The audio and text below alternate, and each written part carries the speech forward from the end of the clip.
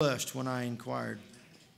She witnessed to me as I lay in the hospital bed. She presented God's plan for salvation verse by verse.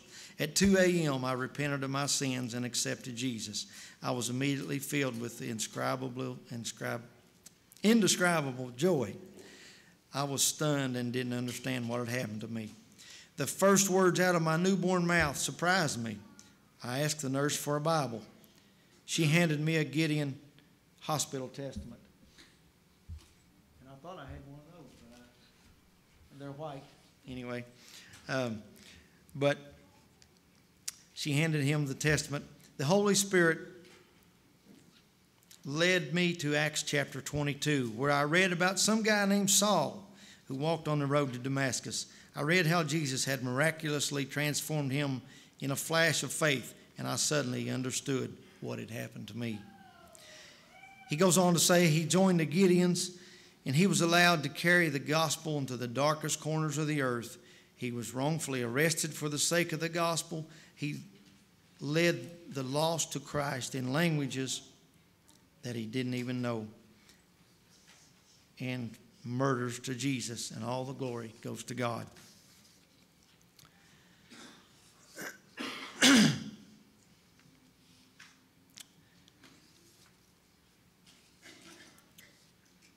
This young man named Arturo Laredo, he said his cousin approached him for a special job offer, and he accepted.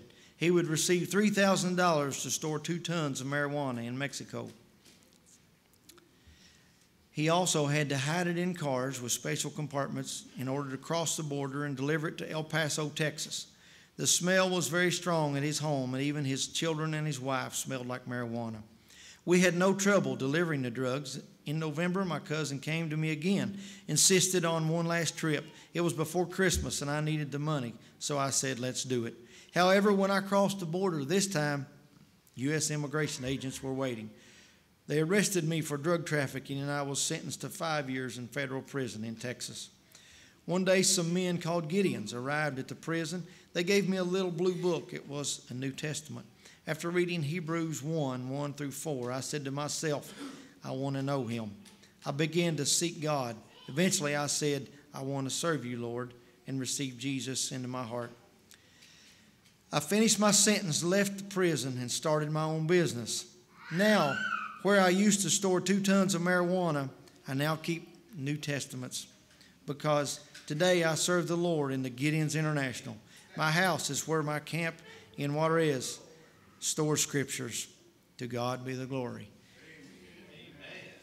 Thankful for the testimonies like that, that uh, just the Holy Scriptures, the Bible, changes hearts and lives.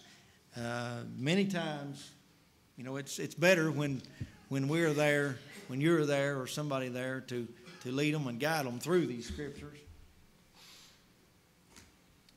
But sometimes they just pick it up and read. And in the back of it, it has, in the front of it, it has helps.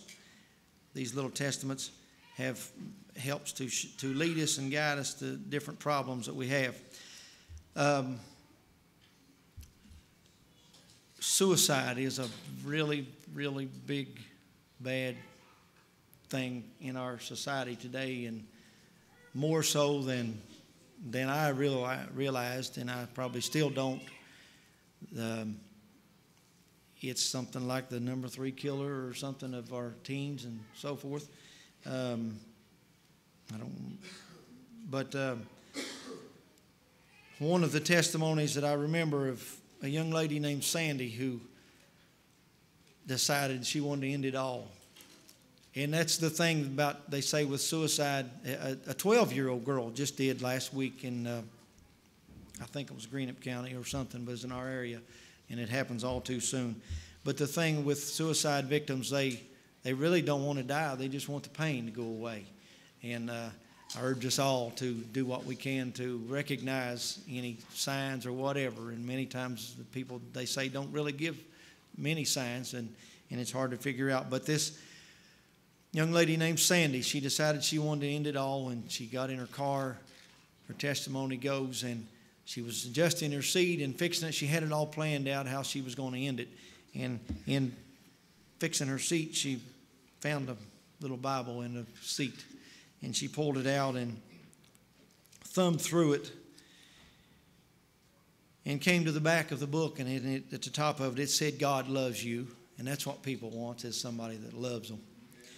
For God so loved the world that he gave his only begotten Son, that whosoever believeth in him should not perish but have everlasting life. But God commanded his love toward us in that while we were yet sinners, Christ died for us. And it says, All are sinners, for all have sinned and come short of the glory of God. As it is written, There is none righteous, no, not one. And God's remedy for sin. For the wages of sin is death, but the gift of God is eternal life through Jesus Christ our Lord. But as many as received him, to them gave he power to become the sons of God, even to them that believe on his name. And then it says, All may be saved now. For whosoever shall call upon the name of the Lord shall be saved. Romans 10 13. And tells you what page to go to to find that. And then there's a place for to you to put your name and date when my decision to receive Christ as my Savior.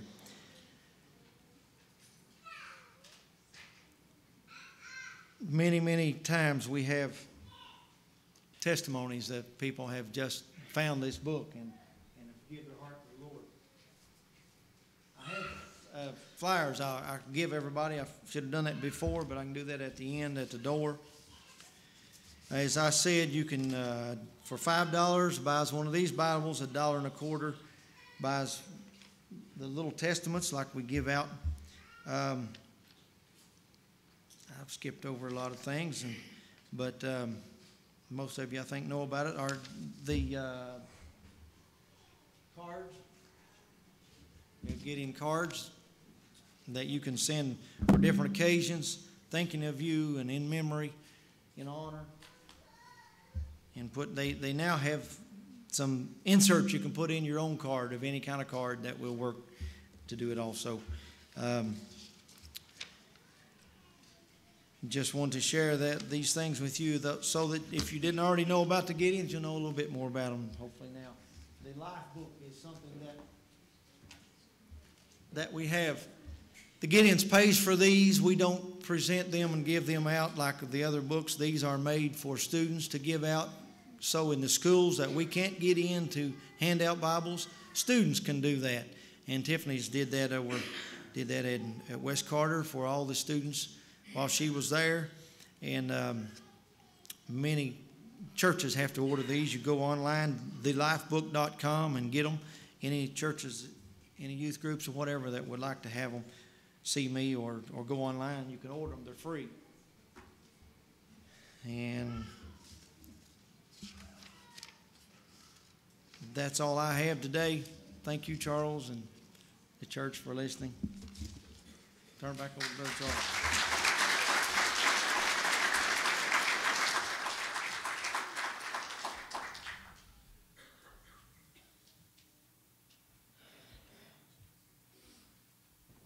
Uh, we appreciate that, and that is a great